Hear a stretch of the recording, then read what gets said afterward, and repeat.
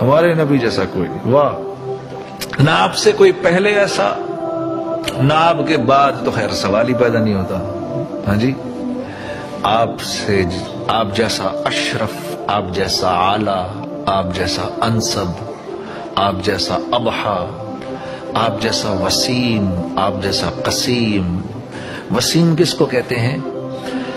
जिसको जिस तरफ़ से भी देखा जाए तो उसके औसाफ मुकम्मल नज़र आए, वो वसीम है। कसीम किसको कहते हैं? कि जब आप उसको देखना शुरू करते हैं तो उसको देखने की चाहत मुसलसल बढ़ती रहती है।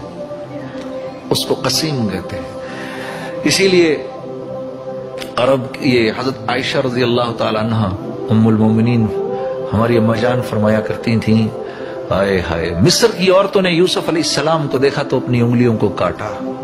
अगर मेरे हबीब को देख लेती हैं तो अपने सीनों में छुरी मार लेती हाँ। ऐसे थे। और अल्लाह के यहाँ क्या मकाम, उसका तो खैर क्या ही कहिए। आप सल्लल्लाहु अलैहि वसल्लम ने महराज में अल्लाह इज़्ज़त से पूछा, या अल्लाह, आपने इब्राहिम को अपना खलील बनाया? और आपने मूसा को अपना कलीम बनाया?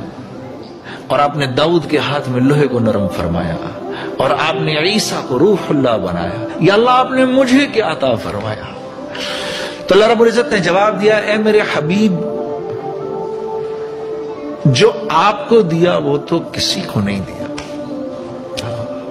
क्यामत तक अब जब मेरा नाम आएगा, मेरे नाम के साथ आपका नाम आएगा। हाँ।